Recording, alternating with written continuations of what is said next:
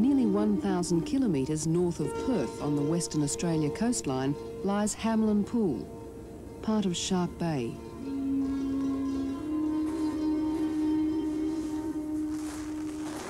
It's desolate and inhospitable up here. There's no denying that the environment is harsh, and that's true for underneath the water as well as above it.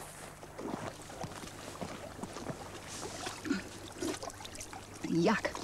The salt levels here are twice as high as in normal seawater, a forbidding environment for any life form. But as far as the scientists are concerned, this is a haven for understanding how life first began. When the Earth cooled thousands of millions of years ago, the first life forms to arise were the cyanobacteria. Through their daily processes, they changed the Earth's atmosphere to oxygen. Some, such as these single cells surrounded by a sheath, learned to cooperate. Over thousands of years, these microscopic organisms built high-rise structures called stromatolites.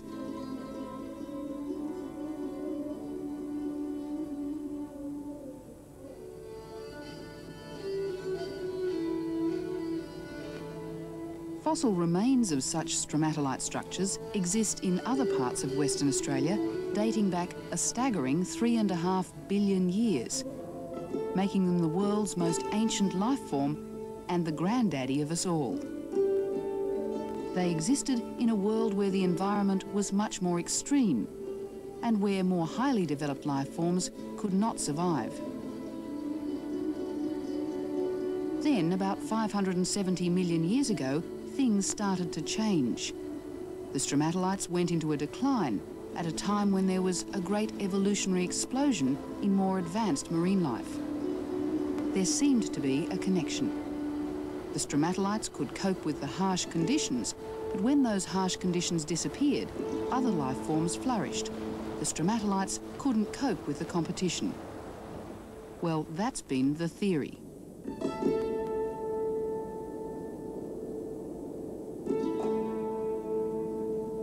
But now, at Lake Clifton, 100 kilometres south of Perth, a young scientist has made a remarkable discovery. Linda Moore from the University of Western Australia has found a very different kind of stromatolite, one which is growing in water less salty than the sea and in an environment far from harsh. Stromatolites are characteristically supposed to be found only in extreme environments where they where they preclude any grazing fauna, animals that would eat the bacteria. But here, Linda has found these structures teeming with life. She's called them thrombolites. Well, I'll show you. We'll have a look at one. There you go. If you look at this structure, you'll see it's not layered.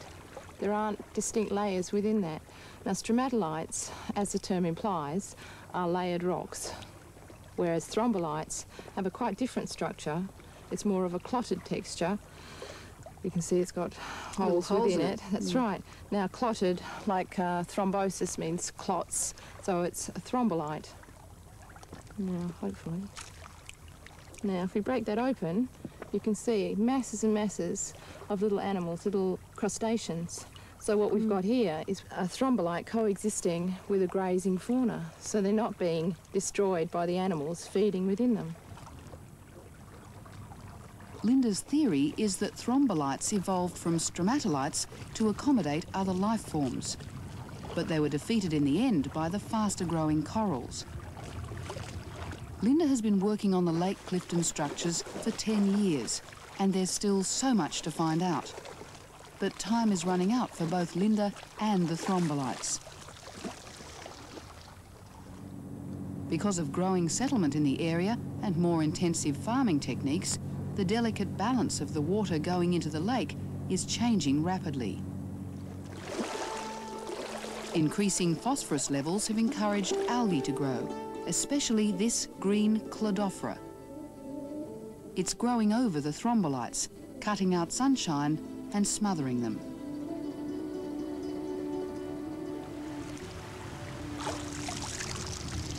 This unassuming life form has been around for half a billion years. The specimen in my hands has been slowly going about its business for hundreds of years. Yet, in a very short space of time, we, through our carelessness, could wipe it out.